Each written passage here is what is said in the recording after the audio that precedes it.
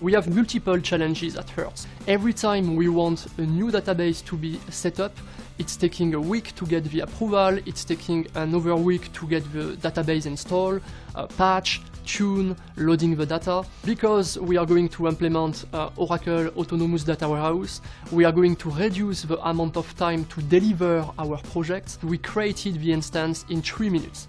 3 minutes to create the instance, 5 minutes to load the data, and then you can use the database. So fast, easy to use, you don't have to spend time with your DBA, logical DBA, physical DBA to tune the database, to tune the queries. Oracle is doing that for you. So for us, it's a big revolution. With uh, autonomous data warehouse in the cloud, we are expecting to have faster projects. We are running multiple projects in parallel, and with autonomous data warehouse, we will be able to have a faster database created.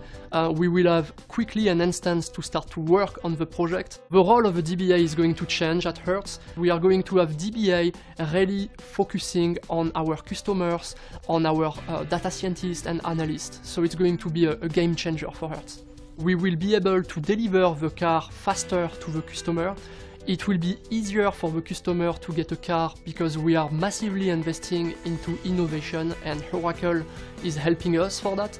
And also we will be able to pay our vendor and supplier faster so the customer will see uh, their car deliver faster to the location, they will have better car, better services.